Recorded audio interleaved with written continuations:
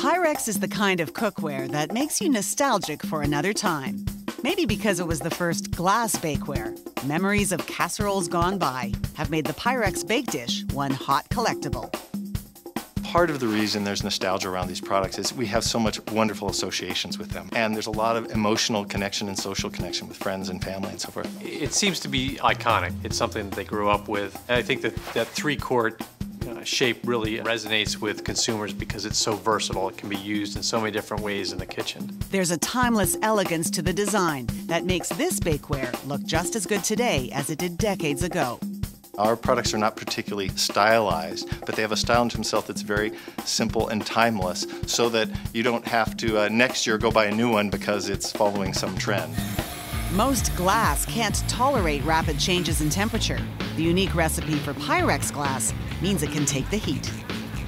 The notion that you can use glass to cook was a big innovation. But what's wonderful about glass is it's a very it's an inert material, it's clear, it's high temperature. Trust me, the temperatures that we make Pyrex in are well above, you know, uh, what you bake in your oven. They've recently redesigned an old standby. Their glass three-quart casserole dish, first introduced in 1915, has now been reborn as part of a new line called Easy Grab. The feedback that we were getting from consumers was with the handleability of the piece.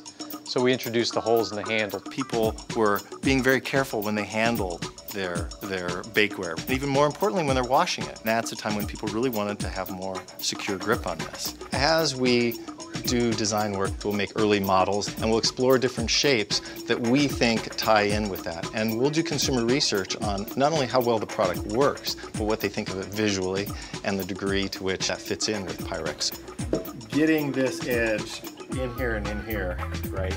The glass is important to come around Yeah. and fill here. Yeah, and so you need to be able to, you know, clearly get your fingers in and out. So Right. how it feels there is going to be important. The potential for cooking with glass was discovered in 1913 by a curious physicist named Dr. Jesse Littleton at Corning Glassworks. The company had already developed heat-proof glass to contain batteries. And one day, Littleton brought a battery jar home, sawed off the top, and asked his wife to bake a cake in it. And she tried that in baking, and it worked wonderfully. And so, born from that was the use of and the notion of glass as a baking material. Mrs. Littleton noticed that the cooking time was shorter, the cake didn't stick, and she could watch it as it baked. So it was due to her perfectly baked cake that Pyrex was launched. And in 1915, the company started mass producing glass bakeware. Here in Charleroi, Pennsylvania, it starts in the mix house, where they carefully weigh out the ingredients. Sand is by far the biggest component, providing the silica needed to make glass. Other ingredients include limestone and soda ash. By far the hardest part is heating and breaking apart the uh, silica. It's a you know a very hard structure. Dealing with those temperatures is by far the hardest part of melting the glass. We get up to about 1350 degrees C. We gradually raise that temperature of glass throughout the furnace to, to melt all the raw materials. Once melted to a red hot liquid, gobs of molten glass fall down a chute where they land straight into the presses. and we press everything that we make.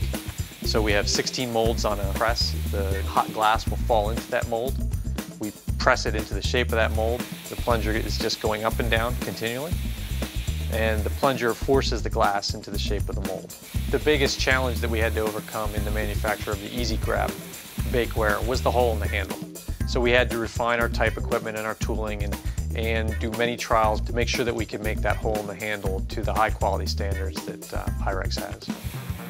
The solid pieces are removed from the press by a vacuum powered arm. They're placed on what's called a glazer to be polished by fire. It rotates on the glazer underneath a series of overhead burners. Those burners are putting a nice, soft, uh, smooth polish on all the rims. Because with that mold ring plunger interface, we end up with a lot of sharp edges. So we're just smoothing all those sharp edges over. The baked dishes are then loaded into a heat strengthening kiln. And the purpose of that kiln is it, it get, gradually heats the piece up again, uh, fair, fairly close to its softening point to remove all the internal stresses. And then we cool it off very quickly to instill in the glass those heat strengthening properties. Finally, the glass is cooled to room temperature so it can be handled for one final inspection before packing and shipping. Destined to become the main dish in kitchens the world over. It's very durable. The consumer doesn't have to worry about handling it with kid gloves. And it's a nice, clear product. I mean, it looks good on your shelf. When those of us who have worked on these products see them being used by people in their home, there's, there's nothing more proud. At the end, we're really trying to make a difference in people's lives and have them be a little bit more successful when they're cooking, a little bit happier when they're in their kitchen and working with food.